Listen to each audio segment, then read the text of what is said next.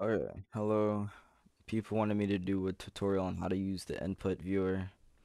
So thanks for TikTok for giving this to me in the first place.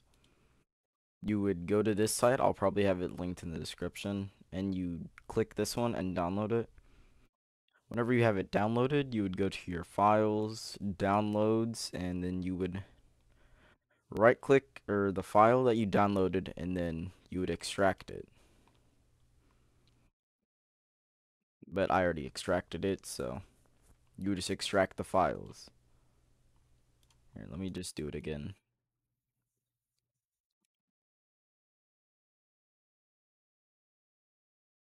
Yeah.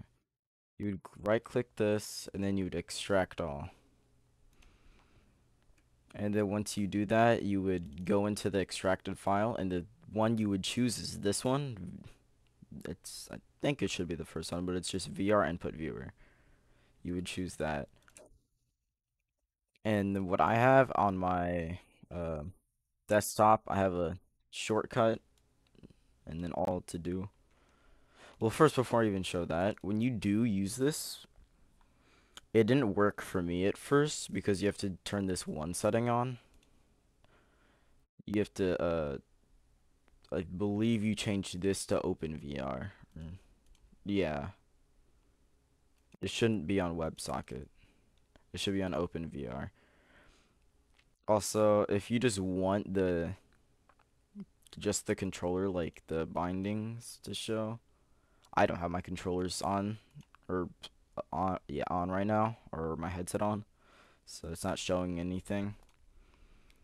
But if you don't want this to show, like your like uh, what is it called?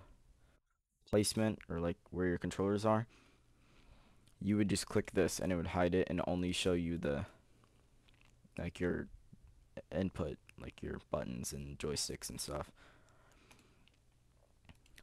But also, I'll show you how to do this at the end. I'm sure people know how to do that. But what how I use it for OBS is I have it right here.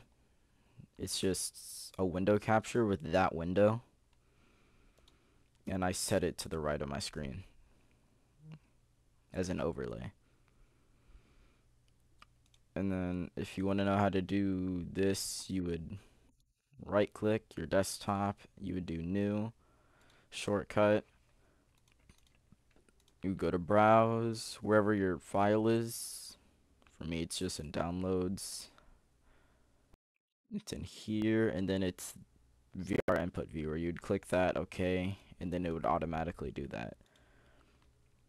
So, hopefully, people understand this. I don't understand how you don't know how to extract a file and put it on your screen. It's pretty simple stuff. Bye bye.